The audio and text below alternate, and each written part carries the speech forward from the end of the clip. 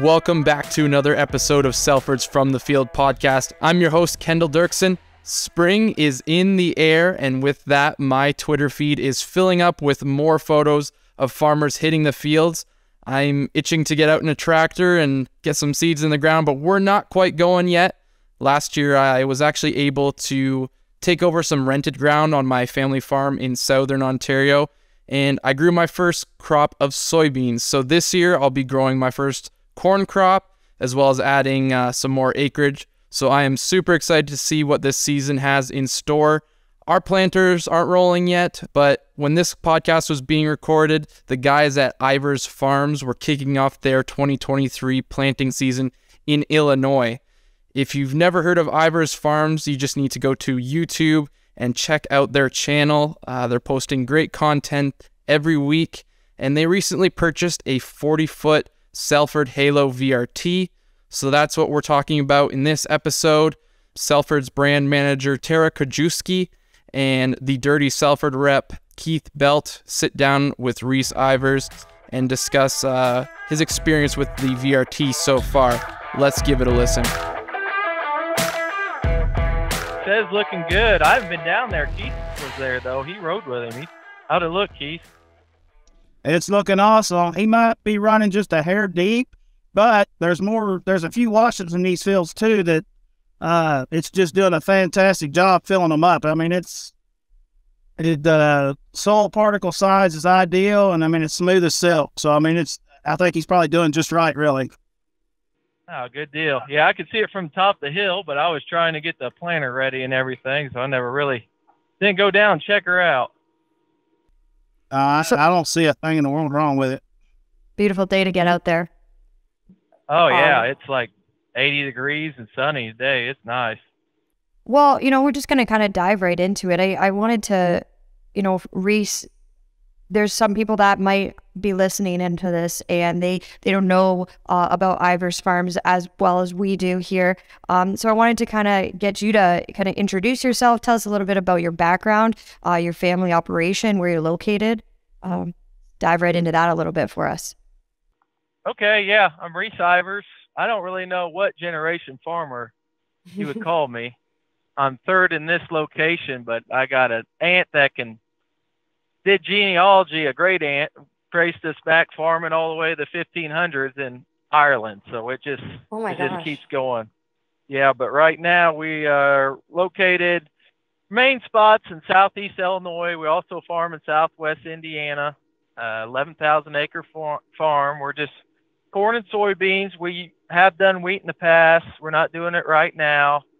Uh, a lot of different farming practices and tillage practices. We got no-till, we got conventional till, we got minimum till. We'll rip them and you know, like I'm at a field right now, getting ready to get started. It's a no-till field on some sand.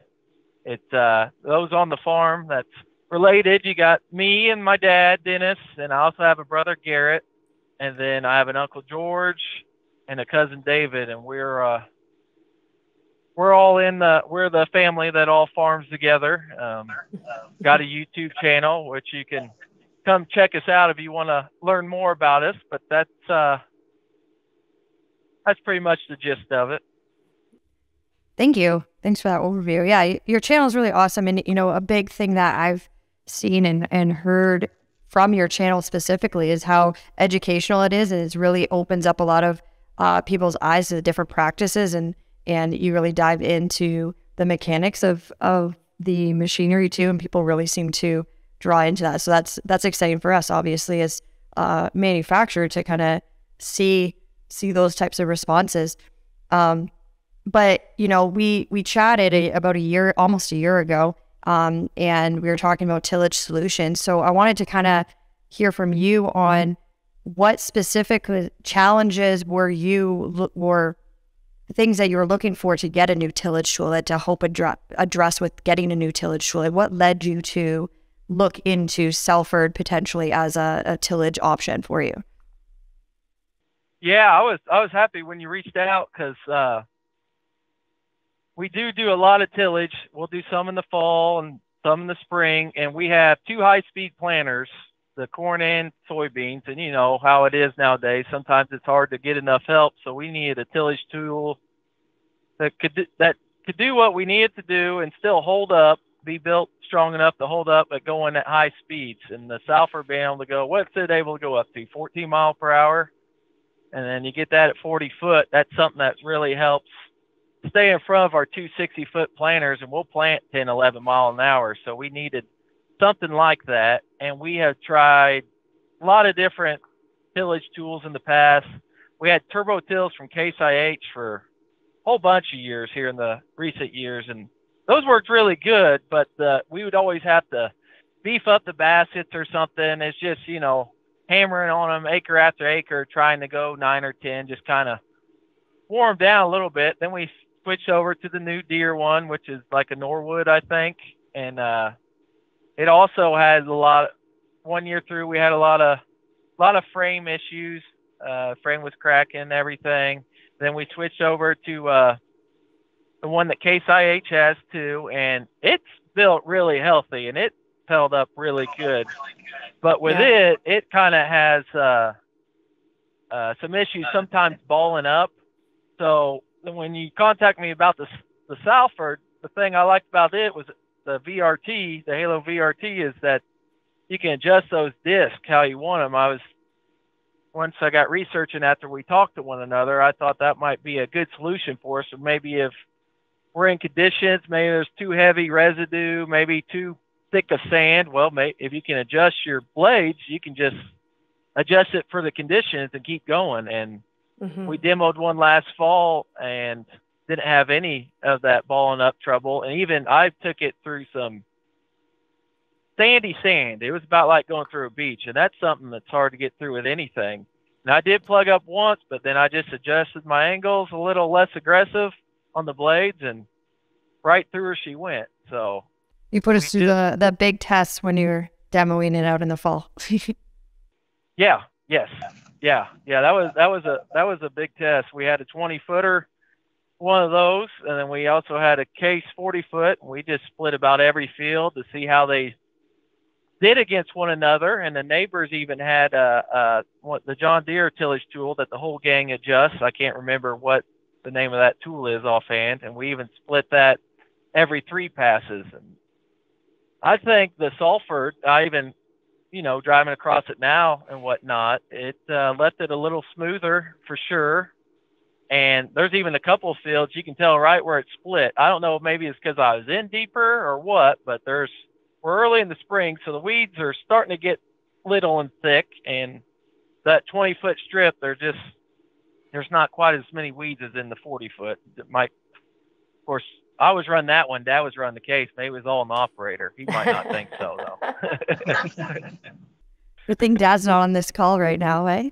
yeah, no kidding. I better not better not let him know about it either. Don't want him to listen in. He might uh he might have something else to say about that. that's for the ne- that's for the next episode. Going head to head. Okay. Yeah, there we go. Um, so that that's really interesting. Like I know you and I talked a little bit about the VRT when we when we first started uh, chatting, and um, we had Keith come out. Uh, Keith's our territory sales manager in your area, um, kind of to help really determine the appropriate tool for you. Um, Keith, just to bring you in here, how did you determine that the VRT would have been the best for Reese? Was it because of his quick explanation on the different types of tillage practices that they handle, or was there other other factors that helped you determine that that would be something for him to think about? Yeah, you know, Tara, that's always been one of our biggest challenges. And before, you know, our Salford products, when you were trying to pre-qualify a customer and help them make the right decision, you know, you had to be really cautious and and and ask a lot of questions and find out what they what they want to accomplish and and the one thing that would get us in trouble, or not necessarily to get us in trouble, but the one option we didn't have was being able to change on the farm. So you know, we had a lot of different customers over the years that, you know, we would work really hard to to get them into a category, whether it was one of our independent series, I eleven hundred or twenty two hundred or forty one hundred or forty two hundred. And the first thing you do is you sit down and, you know, me and Reese, we got in touch with each other. Uh, went and visited with him. Actually, rode around in the combine with him, and I just asked him a bunch of questions. And just like what he said, you know, they farm everything. Uh, they're you know eleven thousand plus acres, and they go from river bottom ground to highly erodible hill ground, and that is the VRT to a T. I mean, that's the whole concept behind that tool. Is Salford finally has a high speed, high productivity tillage piece that can go from two degrees to 15 degrees of aggressiveness and give these operators like Reese and his family the power to hook to one tool and go. Reese, how far is it to Robinson? What are you about 45 minutes to an hour when you're driving the tractor? Oh man, on the tractor, that's a good question. It's 35 minutes in the car, so yeah, it it's about an hour. It takes over an hour. Hour and a half, maybe. So, yeah. Yeah. Yeah. So, you know, Tara, you think about it. I mean, when you back into the shed at the first of spring here and you got plenty of time, you know, you can go back to the farm and get a field cultivator if you needed to fill in some ruts or take out some heavy weeds. But these guys, you know, like this year, perfect example, you know, we're running a little bit behind. We had a little bit of heavy moisture. So we're, you know, weather's right. They're wanting to run. When you can drop that single hitch pin, drive an hour and a half, and know that you've got the confidence that when you pull it on that field, you've got a tool that you can pretty much handle any situation you're going to encounter. I mean, I think Reese, that you'll agree with me. That's a pretty powerful feeling. Oh yeah, yeah. It's the name of the game is efficiency. If you got something that can go over every acre you got just by hitting a hydraulic switch, just make a few adjustments. That's uh, that's a big deal. And so we talked about that. He told me, you know, he gave me his different scenarios. And I mean, I pretty much figured out right then, based on my knowledge and experience with Salford over the years, that, you know, he needed to leapfrog the I series. He needed a tool like the VRT. And it was a brand new tool, pretty fresh on the market, hadn't really been released to the market yet. Uh, we didn't really go for a full release on it till last fall, actually. So it was still relatively uh, brand new and not full well known yet. And I think Reese and them's experience and, and their ability to demo it like we was able to, you know, help get the word out on it even more. And it just was a divine intervention. I think, you know, the good Lord meant for it to happen and we got together and, you know, these guys put it through its paces. We were able to bring it out to them. Uh, they had the perfect tractor for it. They had a 380 horsepower front wheel assist, and it was just a match made, uh, match made in heaven, so to speak. And and he was able to keep up with his dad, and they were able to do side by side comparisons. And uh, you couldn't ask for a better demo situation. Yeah, that, that's really cool that you were able to do those those comparisons, Reese, and um, and yeah, having all the details ironed out for you there with with Keith, and it really does make sense that the the versatility factor was such a a huge proponent to the interest of this uh, the VRT. And would you say then that the versatility tool of that tool from that quick pass comparison right there and then was what led you to make that purchase decision? Because initially it was just going to be a demo, trying it out, and like he said, we were just getting into the market in your area, so we hadn't even um, touched in that. And you made an order that fall saying we need this. Um so what what really made that like final quick call for you to be able to to get that order put in? Well, the Before- proof is really in the field. It's just uh, I like the versatility, like everybody's saying, but uh, I pulled. I think it's rated up to 14, so that's why I pulled it. If that's what they say can do, we're gonna test it out, and it uh, test passed the test. And I don't know if it's the double baskets on the back or what. It just left it smooth and left it looking beautiful, and turned over some the right amount of residue as we wanted, and it's just the ease of what you can adjust it is so nice. You know, a lot of different tools. You're in and out of the cab all the time, and then you get it the way you want it. Then conditions change, and then you got to get back out. Then you're not real sure. Then you're like, well, do I want to take the time and stop or not? But here you just got your right hand just sitting there playing with it the whole time till it's exactly perfect all the time. And you know, sometimes conditions can change from one end of the field to the to the other, and it's really nice not having to stop on half of a pass and maybe take it out or put it in a little bit. You can just do it all from in the cabs, the main thing. And it just it looked like it was built healthy, that we're not going to have any issues with it, you know, pulling in two when we're trying to trying to mm-hmm. do what we're trying to do. So I just was impressed No with downtime. it enough that we thought we needed one of those, and we thought it would it would solve a lot of our problems that we were having with our other tillage equipment. Did you get a remote with yours? I can't remember now. Uh, the one we demoed had a No, remote. We did not do the 40 foot. Does not have the remote. Since we already had six outlets on the tractor we had, we decided to decided to go with that option. That makes sense. It's it's nice to have Now, that to option if clarify, you you're had talking it. about the joystick option.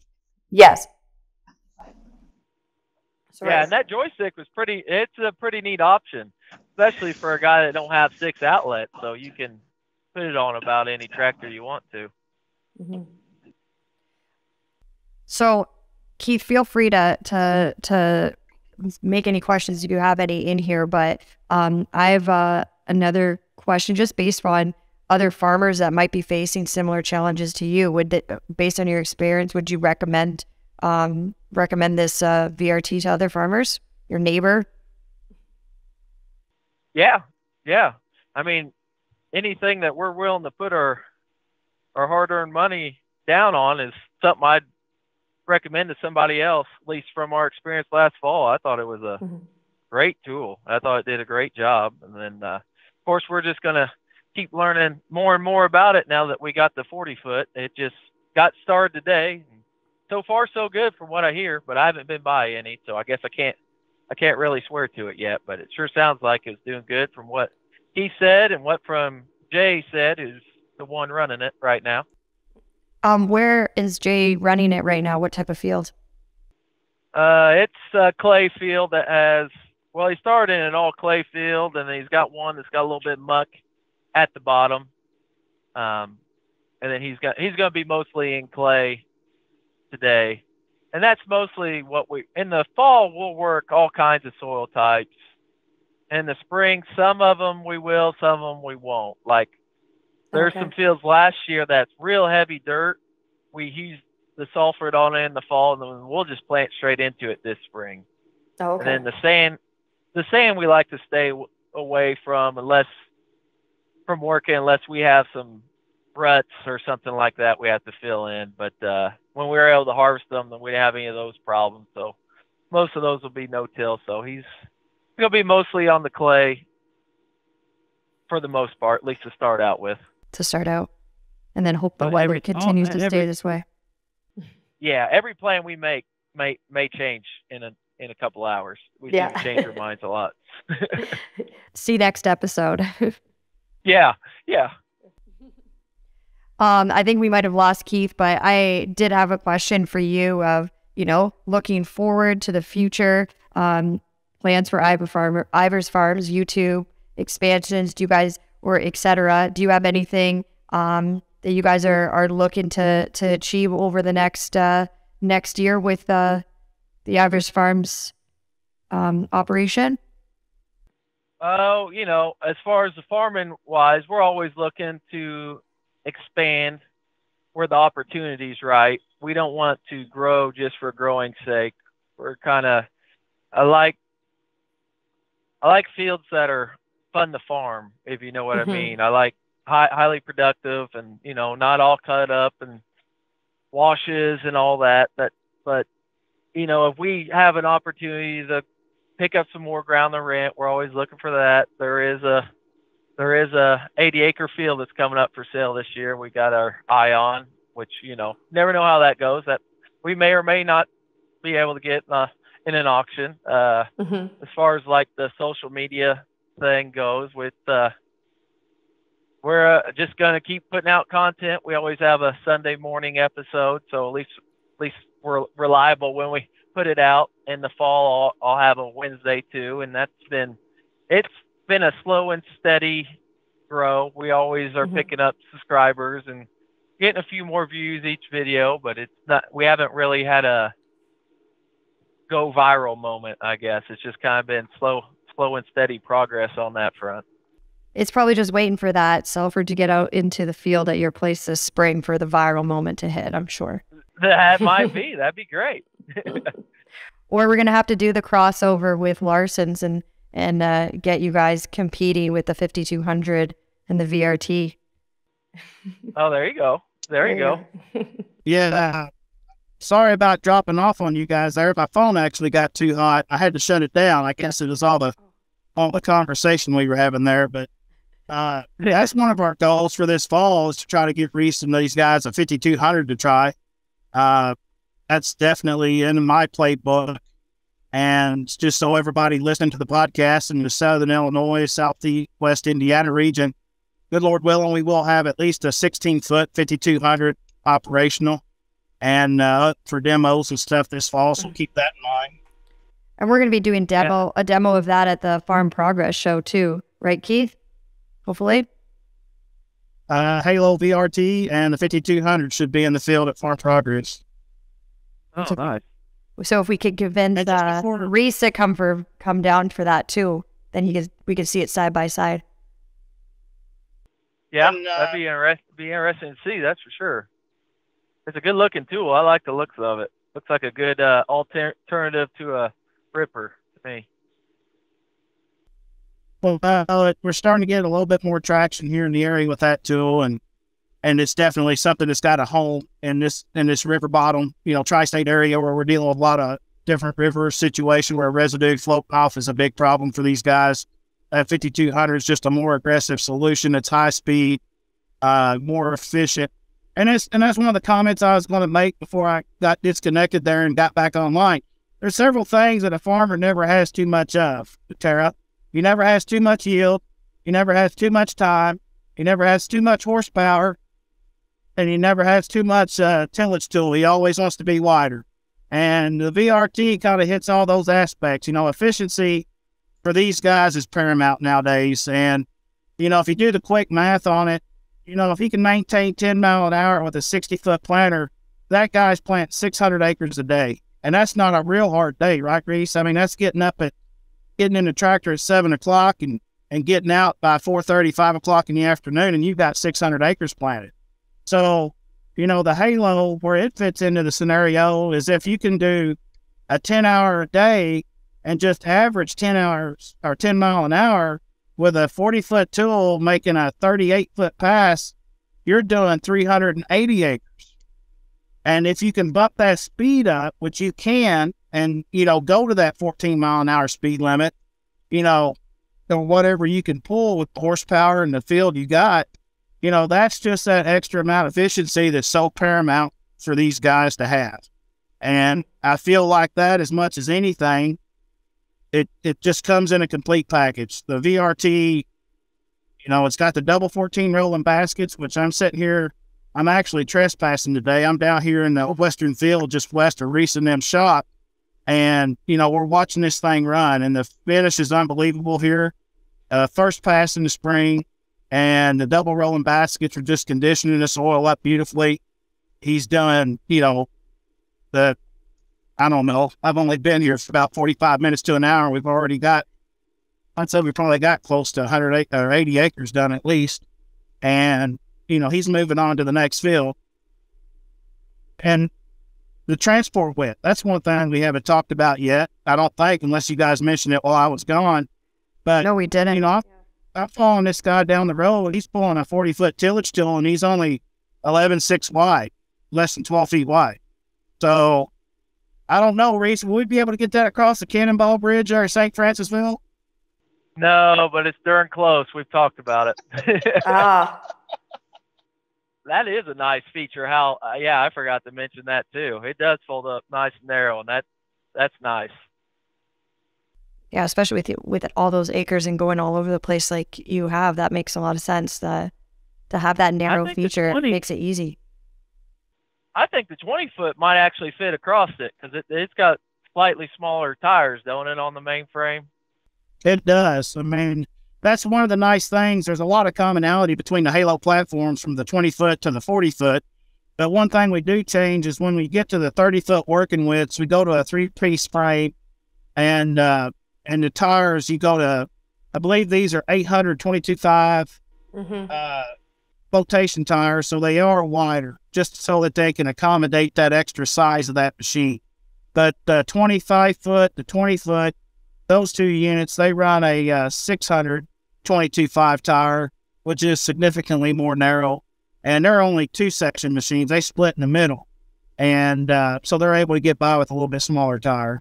But, you know, the transport width is basically about the same. We do use uh, an offset dish wheel, and so we're still within the tel- we're still within the turn signals, so we're able to maintain that less than 12 foot transport width, but just barely. And I, I, you know, it just it's amazing to watch. You know, you got very rarely can you see a 40 foot tool go down the road and be the same width or narrower than the tracks on the tractor in front of. it.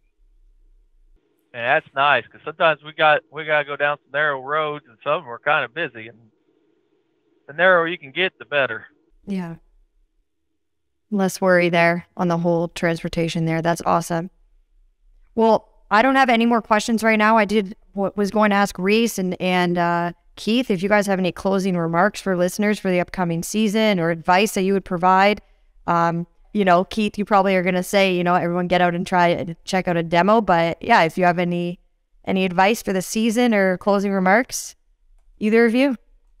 Um, I would like to comment on how good so far the Salford company's been to work with because last fall, I think we all know how difficult it's been to get parts or new equipment to come in when it's supposed to come in. And you got, and I was told last fall that they would be here for this spring. I thought, well, yeah, we'll we'll see. But Salford definitely delivered on their promise because it came in either the last week of February or first week of March, one of the two. Plenty, plenty of time for us to use, and that uh, I think that says a lot when you when you make a promise and you fulfill it. That's that's good to see, especially nowadays. Which I know some of that's beyond the company's control, but you guys said it'd be here this spring, and here it is. As far as the Well, advice for this season, I uh, I don't know. Good luck, everybody. it's it's always it's always changing, and uh, no matter where you're at, farming's always a little different. Just uh, just want to wish everybody good luck on good luck on this upcoming season. Hopefully, it all turns out pretty good for everyone. Well, I appreciate that, Reese, and it was fun working with you guys. And and all I can say is is that uh, you were a big part of that, making that happen. You and your dad and your family, because uh, you made your minds up pretty quick. And uh, when you when you got a farmer that sees what he likes and likes what he sees, and uh, says, "Yeah, I need it, get it," you know, let's go. And a dealership like H and R AgriPower there in po- uh, Preston, Indiana, you know, uh, we made that process happen, and uh, we were able to meet that meet that deadline. And we really appreciate the opportunity to work with you guys. The, uh, you know, it's it's going to be a wonderful year again. Uh, anytime you can get up in the morning, put your feet on the ground, and go to work, and and in the industry like we're working in, uh, it's a good day. And we're definitely going to have our challenges. I know a lot of the, you know, Northern Plains guys are dealing with weather still, and and you hear about this thing they call snow and ice, and they're waiting for it to melt off so they can get to their field. So God bless those guys. But everybody just be safe. You know, watch out for each other, and everybody that's driving up and down these highways, give these guys the respect and the courtesy they deserve, and uh, just just watch yourselves and have a wonderful spring. Thank you. And oh yeah, Reese. Plug the 30 Salford rep. Let everybody know if they want to who to call if they need a demo or anything. I'd be happy to do it. Okay, will do. Everybody loves demos. You know that. Hey, work. Keep Keith busy this this uh, season. Tara, do you still have snow up there where you're at?